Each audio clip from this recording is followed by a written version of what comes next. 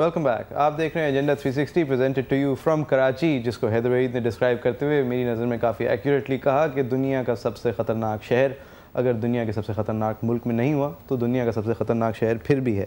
Haider Waheed numbers के बारे में हम बात कर रहे थे बीच में ब्रेक में भी बात कर रहे थे कि तारीख भी ये कहती है कि एक सर्टन सेट ऑफ़ नंबर्स से डिसाइड की जाता है और तारीख भी फिर जब लिखती, लिखी जाती है तो कहती है, जी, इतने मर रहे थे, बड़ी बात थी। तो नंबर्स से डिसाइड किया जाता है कितना संगीन है मामला।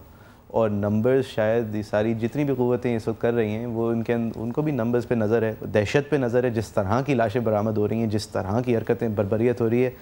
तो नंबर्स में मुझे एक चीज़ समझ आई है ए, एक कोई नंबर है जिससे फ़ौज आएगी वो नंबर हमें भी पता नहीं चला। अगर फ़ौज की ज़रूरत है तो एक कोई नंबर है जिससे फ़ौज आएगी। और एक और बात हमें पता है कि पचास वो नंबर है जिस पर रहमान मलिक आते हैं। चाहे वो आके कॉमेडी करते हैं चाहे वो आके हस्बैंड्स गर्लफ्रेंड्स वाइफ्स चिल्ड्रन की बातें करते हैं चाहे वो लाइटर नोट की बातें करते हैं। पचास पे रहमान मलिक मिलता है कराची को, जिसके बाद हालात बेहतर हो जाते हैं। तो आई डोंट नो वो शायद पीशाब पगाड़ों से वो वो भी तावीज़ लेते हैं, जिस तरह वसान साहब हमारे होम मिनिस्टर लेते हैं। अब मेरे ख्याल में कराची तावीज़ों पे और ख्वाबों पे नहीं चल रहा। तो इस्तीफ़ा मतलब एक इंस्टेंट चीज़ होनी चाहिए मेरी नज़र में और मेरे ख्याल से पूरी प्रोविंशियल हुकूमत का इस्तीफ़ा एक इंस्टेंट चीज़ होनी चाहिए। और अगर वो नहीं कर सकते तो कम अज़ कम लाइबिलिटी तो शो करें। लेकिन कराची ना सिर्फ़ के ख्वाबों पे नहीं चल रहा है, कराची चल ही नहीं रहा है और ज़ाहिर है कि इसमें अवलिन रिस्पॉन्सिबिलिटी जो है वो हुकूमत वक्त की है। आपने नंबर्स की बात की आई थिंक नंबर्स तो हैं ही, लेकिन एक और बड़ी इंपॉर्टेंट चीज़ है, वो है परसेप्शन जो एक परसेप्शन और फीलिंग इस वक्त एक कराची आइट की है, कराची के बिजनेसमैन की, रेवड़ी वाले की नौकरी पेशा की, या वो वो अब ऐसी हो रही है और इतनी डिमोरलाइज इस वक्त थिंकिंग है कि ये नहीं पता कि शाम को घर भी पहुँच सकेंगे या नहीं। और ये अब काफ़ी वाइड स्प्रेड हो रहा है और जो टेरर का अंसर है, जो कि बसेस की अफवाह होने से, रात को नौजवानों को उठा के ले जाने से और फिर उनके हाथ पैर काट के बोरियों में बंद करके उनकी बॉडीज़ को भिजवाने से जो एक टेरर का आंसर है I think psychologically numbers game के से भी ज़्यादा इसका असर इस वक्त कराची के जहनों पे हो रहा है और वो जब एक परसेप्शन एक ऐसे लेवल पे आ जाएगा कि एक यकीन ही रियासत में ख़त्म होने को होगा, मेरे ख्याल से उस वक्त फ़ौज जो है वो शायद उसे आना ही पड़े। और फ़ौज जो है वो आने का, के वक्त का तयन मेरे ख्याल से बेशतर चांस है कि वो ख़ुद ही करेगी। उसको बुलाया, अभी से जा रहा है unofficially by parties which are not really going to be officially called the army, which is the MQM and the ANP, and they've all mentioned that they now, and including the PMLN, कि army को बुलाया जाए। Peoples party जो है वो अभी reluctant है। ये तो जोक है ना this is political posturing Rahman Malik साहब जीएचक्यू पे हमला होता है तो रहमान मलिक साहब वज़ीर दाखिला वफाकी वज़ीर दाखिला को अंदर नहीं आने दिया था फ़ौज ने। आ, ये उस वक्त की बात है जब रिलेशंस फिर भी रहमान मलिक साहब की ये हरकतें थोड़ी सी इतनी बुरी नहीं थी। उसके बाद तासीर साहब का कत्ल हुआ तो उन्होंने फरमाया मैं भी गोली मार देता। उसके बाद ये कराची की सिचुएशन हुई। उससे पहले भी उन्होंने बहुत सारी बातें की हैं। मतलब उससे पहले फौज did not like to have him respected as a federal interior minister तो जहाँ रहा सवाल उनके बुलाने की तो वो तो I think is out the window मियाँ साहब जो है छः महीने से क्योंकि आपने बात की है मैं ऐसे डिसग्री करता हूँ। मेरे ख्याल से जरदारी साहब का इसमें बहुत बड़ा रोल होगा। सही। फ़ौज मेरे ख्याल से जरदारी साहब के ना चाहते हुए सिर्फ़ उस वक्त आएगी जब बिल्कुल रियासत को एक डायरेक्ट थ्रेट हो। मेरे ख्याल से तो किस चीज़ को थ्रेट है। अभी? नहीं अभी आई थिंक अभी उस लेवल तक बात नहीं पहुँची है, पुलिस रियासत की अलामत है?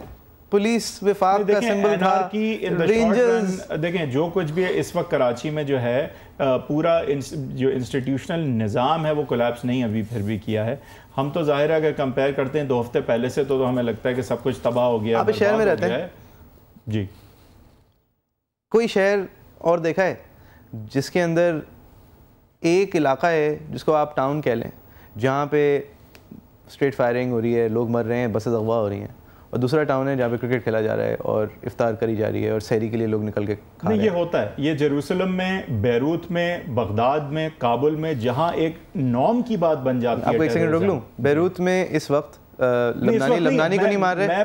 बगदाद में इस वक्त इराकी इराकी को नहीं मार रहे। Matter because this has nothing to do with it मेरा कहना ये कि जब आपकी टेररिज्म रोज़मर्रा की एक रियलिटी बन जाती हाँ, है तो लोग तो लोग हो जाए जो भी है वो ढिटाई नहीं वो कहते हैं कि भाई जाना होगा तो जाएँगे। हाँ। तो ज़िंदगी तो नहीं मैं ये मैं ये जो पॉइंट मेक कर रहा था वो ये नहीं था कि लोग हमारे आपका बड़े ये कहना है कि हम एक शहर नहीं है। कि पॉलिटिकल नहीं आपने पहले ये कहा कि पॉलिटिकल गवर्नमेंट का कहना ना कहना ज़ीरो है। हाँ। फौज सिर्फ़ खुद नहीं शुरू की बात नहीं मैं इस वक्त आपकी इस पॉइंट पे ये कह रहा हूँ मैं उस पर वापस आ जाऊँगा। लेकिन मैं इस वक्त ये कह रहा हूँ कि कराची को एक शहर समझना एक गलती है। कराची बहुत सारे शहर हैं और वो बस साथ जुड़े हुए हैं। और इस वजह से कि टर्फ कम है इलाका महदूद है इस वजह से ये सारी प्रॉब्लम्स हैं। ख्वाजा साहब ने भी हमारी पिछली सेगमेंट में शायद यही मेरे ख्याल से काफ़ी ऑनेस्टली हमें एक पंजाब के पॉलिटिशियन है, उनका कराची में इतना बड़ा स्टेक नहीं है तो शायद हमने बहुत ज़्यादा सच सुन लिया। मेरे ख्याल से मैं उनसे काफ़ी सारी बातों की, उनकी इन एग्रीमेंट हूँ। और मैं जहाँ फ़ौज की बात कर रहा था, पहली बात रहमान मलिक साहब को अगर if you take that aside Nawaz Sharif साहब जो कि पिछले नौ महीने से फ़ौज के ड्रम्स बजा रहे हैं तो उनका भी कहना भी पॉलिटिकल पॉस्चरिंग हुआ। एम क्यू एम का एक दफ़ा कह देना। नवाज़ शरीफ तो फौज के ड्रम्स कहाँ बजा रहे हैं वो तो इलेक्शन के ड्रम्स बजा नहीं रहे हैं। वो फौज के ड्रम्स यानी वो तनकीद बहुत कर रहे हैं फौज हाँ, के ऊपर वो फौज के मतलब उनका बैंड बजा रहे जी, हैं बिल्कुल। हैं। अब- ड्रम नहीं बजा रहे। उसके उनकी तरफ़ से बात जो है वो फिर गैर संजीदा लगती है कि जी मियाँ साहब पंजाब की सियासत जो है वो कर नहीं पा रहे तो उन्होंने कराची की तरफ़ लेकिन। इंतजामी तौर पर फौज की तरफ़ से एक और मार्शल लॉ की की सूरत में बुलाने में फ़र्क है। नहीं बिल्कुल फ़र्क है वो तो पिछले सेगमेंट में भी क्लियर हो गया था लेकिन आप एक डायलॉग होता है ना हैदर भाई उन्हीं लोगों से आप बात कर रहे हैं जिन लोगों की आप तनकीद कर रहे हैं। तो उन लोगों को आप फिर अगर डायरेक्शन दे रहे हैं अपोजिशन में बैठे हुए तो वो आपकी शायद नहीं सुनेंगे ना मतलब वो आपको काफ़ी बात संजीदगी से भी। शरीफ की सुन के तो नहीं हाँ बिल्कुल। अच्छा तो रही बात ये लेकिन एक प्रेशर कुकर तो में कंट्रीब्यूट तो नवाज़ शरीफ कर सकते हैं। हाँ क्या प्रेशर कुकर कराची के हवाले से? प्रेशर कुकर ये है कि जब हालात मैंने जिस तरह कहा कि एक जो रियासती निज़ाम इंतजामी निज़ाम होता है वो जब बिल्कुल पचास आदमी दिन के प्रेशर कुकर को ऐड नहीं कर रहे नवाज़ शरीफ ऐड कर ऐड कर रहे हैं। इंतजामी तौर पे कोलैप्स नहीं है अभी भी कराची में। ये नहीं होता कोलैप्स के पचास बंदे मर रहे हैं। कोलैप्स जब अगर आप है कराची को एक माइक्रोकॉज्म ऑफ़ द मुल्क से देखें तो ऐसे बहुत सारे शहर या गाँव हैं कराची के अंदर जो कलेप्स हो चुके हैं। आप अगर कराची को एज ए शहर देखेंगे तो वो कभी भी कोलैप्स नहीं हुआ पहाड़ भी गिरते गिरते मतलब टाइम लगता है। अभी यही बात है कि हम बिल्कुल गिर रहे हैं जवाल पे हैं लेकिन लेकिन हैदराबाद कुछ टाउन्स गिर चुके हैं। नहीं टाउन्स गिर चुके हैं बट फौज का आना उन टाउन से मुंसलिक सिर्फ़ नहीं फौज ना आए रेंजर्स को ही पूरे इख्तियार दे दे रेंजर्स के हाँ, थ्रू इंटेलिजेंस काम कर ले। ये बात है कि पहले दो चार चीज़ें होंगी उसके बाद फौज की नौबत आएगी अभी तो वो दो चार चीज़ें ही नहीं हुई। अभी अगर दयानतदारी से और बिला इम्तियाज़ कार्रवाई रेंजर्स भी करें तो बहुत बेहतरी आ सकती है। Rangers are an organ of the paramilitary उनको इंटेलिजेंस सर्विसेज़ जो कि फौज की फुल फ्लैश इंटेलिजेंस सर्विसेज़ हैं वो अगर पॉइंट आउट कर दें जी ये मिसक्रिएंट्स हैं। कितने हैं think point अगर कराची में किया हुआ है, सात हज़ार काम करने वाले पुलिस वाले हैं तो ये मिसक्रिएंट्स कितने हैं? नहीं देखें इंस्ट्रक्शंस तो मिले ना उन्हें कि आप बिला इम्तियाज़ जाके कार्रवाई करें। बिला ये देखे बगैर कि कौन किस पार्टी का है। तो ये इंस्ट्रक्शन लेना आपके ख्याल में ज़रूरी है? ले फौज आधा हमारा बजट आधा हमारा बजट लेती है आधा बजट लेती है। उसमें से 80 फ़ीसद कॉन्ट्रीब्यूशन टैक्स का कराची देता है। तो फौज के अगर मफाद की बात करें कि फौज का इसमें मफाद क्या है तो पहले तो रेटिंग्स जिसके लिए हम काम करते हैं जिसके लिए आज हम यहाँ बैठे हैं वही रेटिंग्स फिर ह्यूमन सेंटिमेंट वॉक्स पॉपुलर जो आवाम की आवाज़ समझी जाती है वो फौज के ऊपर भी अप्लाई करती है कि जी मुशरफ साहब के ज़माने में बीस फ़ीसद अप्रूवल था आज अस्सी फ़ीसद अप्रूवल है। अगर आप आज कराची में फौज का अप्रूवल मांगे 80 से भी बढ़ रहा है ना। हाँ नहीं लेकिन अगर आप आज फौज को बुलाओ फौज को बुलाओ और फौज सिंपली ये बढ़ नहीं रहा है इस वक्त वो सिंपली ये बोलेगी कि भाई आप अपनी हुकूमत है सिविलियन हुकूमत वो जब बोलेगी हम आएँगे जब तक हम नहीं आएँगे। है ये तो टेक्निकलिटीज पे सही है लेकिन इस वक्त कराची ये में स्ट्रेटजी है सेंटिमेंट टेक्निकलिटीज थोड़ी इस है। वक्त कराची में टेक्निकलिटी का सहारा लेना है to I don't think so इस वक्त कराची में मेरे हिसाब से सेंटिमेंट कुछ ऐसी है कि शार फैसल पे हॉर्न मत बजाना फौज सो रही है। इस वक्त ये ख्याल है मेरे ख्याल में। ये नहीं एग्री करूँगा। वो रेंजर्स और पुलिस के हवाले से हाउ कैन यू देखें आप कोर फाइव है इस इलाके का। आप क्या क्या लिमिट है? ठीक है अमेरिकन इंटरवेंशन की कोसोवो के अंदर लिमिट थी कि जी अपने पंद्रह हज़ार मारो। फौज के लिए क्या लिमिट है? कि कितने कितने कराची के लोग मरे? कि हम, ये नहीं कि हम आ जाएँ और संभाल लें और कप्तान जो है वो हिस्सा बन जाए और एसएसपी से ओहदा संभाल ले एस से थाना ले ले मेजर आ जाए, ये नहीं। लेकिन बेसिक काम बगैर बिला इम्तियाज़ तो हर वक्त होना चाहिए कार्रवाई, लेकिन बगैर सियासी पेडलिंग के, क्योंकि देखें मुलविस हैं। ये सियासी जमातें अगर आप ये कह रहे हैं कि ये सियासी जमातें बुलाएँगी तो इस वक्त अगर चार सियासी कुतें हैं कराची में तो तो सब एक दूसरे को बंदूकें एक दूसरे पे ताने खड़े हैं। ये इन जमातों के ताकतवर होने से पहले ये नहीं होता था कराची में। कराची के लोग ये बगैर सियासी कवरेज के नहीं हो रहा। ये लोग जब मुलविस हैं तो क्यों बुलाएँगे फौज को? नहीं तो ये तो कोई होते भी नहीं है बुलाने के लिए। इनकी कौन सुन रहा है? तो one of the political parties the PPP The only political player that matters in calling in the army is President Zardari.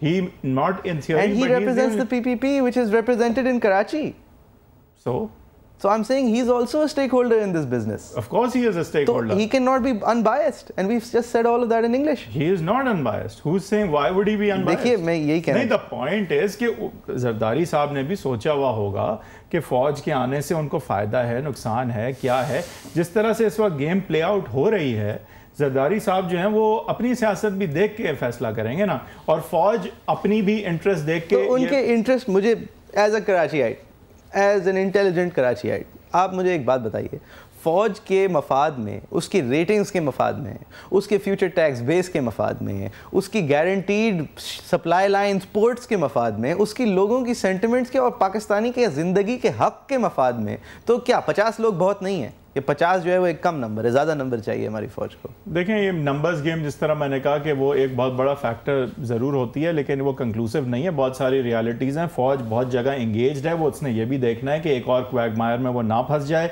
मैं ज़रूर समझता हूँ एक थ्रेश है। उसको अगर हमने क्रॉस कर दिया जो कि हम ख़तरनाक तरीके से उधर ही बढ़ रहे हैं तो फ़ौज आएगी। लेकिन फौज मेरे ख्याल से आने से अभी दूर है क्योंकि अभी तो रेंजर्स और पुलिस ने भी पूरे अख्तियार के साथ कार्रवाई नहीं की है। पुलिस रेंजर्स पुलिस मैं ये नहीं कह रहा कि फौज आ जाए संभाल ले कर दे हमारे लिए कुछ खुदा के वास्ते। रेंजर्स के थ्रू ही करे पुलिस के थ्रू ही तो करे लेकिन संजीदगी के साथ जो है वो देखिए गवर्नमेंट इंटेलिजेंस एजेंसीज नहीं मतलब व्हाट्स योर पॉइंट आप क्या ये केस मेक आउट कर रहे हैं कि उन्हें आना चाहिए? मैं ये केस मेक आउट कर रहा हूँ कि दुनिया की पांचवी सबसे बड़ी फौज दुनिया के सबसे इलीट कमांडोज दुनिया की सबसे ताकतवर intelligence agency using the resources चार पाँच सौ दहशत गर्दों के हाथों पाकिस्तान के सबसे बड़े शहर को यरगमाल नहीं छोड़ सकते और उनके हाथों से छुड़वाने के लिए पूरी फोर्स को आने की ज़रूरत नहीं है। दिस कैन बी मैनेज तो यहीं रुक जाएँ। जो आपने कहा कि नहीं छोड़ सकते मेरे ख्याल से आर्जी तौर पे वो बिल्कुल छोड़ सकते हैं और छोड़ा हुआ है। वो टाइम डेफिनेटली आएगा कि जब फौज कहेगी कि भाई कराची की वजह से पूरा मुल्क डिस्टेबलाइज हो रहा है। नेचुरल नेशनल सिक्योरिटी की सिचुएशन हमारी फौज है ये कोई अफ़गानिस्तान के अंदर इंटरवेंशन की बात नहीं हो रही कि जी हमारे मफाद में जब है जब वहाँ पे दस हज़ार मर जाएँगे और संजीदा हो जाएगा मामला। ये कराची है ये हमारी फौज है इंटरनल है मुल्क का सबसे बड़ा शहर है। मुल्क के पड़ोस का सबसे बड़ा शहर नहीं है कि जी इंडिया के अंदर इतना कुछ हो रहा है तो, तो हम पहले से भी प्लानिंग कर लें। आई डू नॉट अंडरस्टैंड नहीं answer is simple because there is a threshold फौज आ रही से मुराद फौज हाँ ठीक है मैं समझ गया। वो जब तक वो क्रॉस करने की तरफ़ ही हम खतरनाक तो ये क्या ज़रूरी है तो सब लोग मर रहे हैं? नहीं ज़रूरी नहीं है लेकिन अगर ये होता रहा तो नंबर पूरा हो रहा है ना हैदरवेद तो फौज क्या आएगी? फौज को आने की ज़रूरत नहीं है फौज बस काम कर जाए वो जो शायद उसका फ़र्ज़ है। आएगी वो कोई मार्शल लॉ लगाने तो नहीं आएगी ठीक है। अभी आई थिंक वो हालात नहीं है बहरहाल हम एक तो पचास पाकिस्तानी काफ़ी नहीं है बेसिकली मोइज जो है उनकी बहस ये है कि ऑलरेडी हालात इतने बदतरीन अब हो गए कि फौज को आ जाना चाहिए और वो उन्हें ये समझ नहीं आ रही कि फ़ौज अभी तक क्यों नहीं आई है। मेरा ये ख्याल है कि हम जिस तरह आगे ख़तरनाक तरीके से बढ़ रहे हैं, जिस तरफ़ जा रहे हैं तो बिल आखिर ज़रूर फ़ौज जो है ऑलरेडी मेरे ख्याल से इन्वॉल्व हो चुकी होगी। मुझे कोई डायरेक्ट इन्फॉर्मेशन नहीं। मेरे ख्याल से इंतज़ामी तौर पे कराची के हवाले से जो अभी फैसले हो रहे हैं, उसमें फ़ौज डेफिनेटली इन्वॉल्व हो चुकी होगी।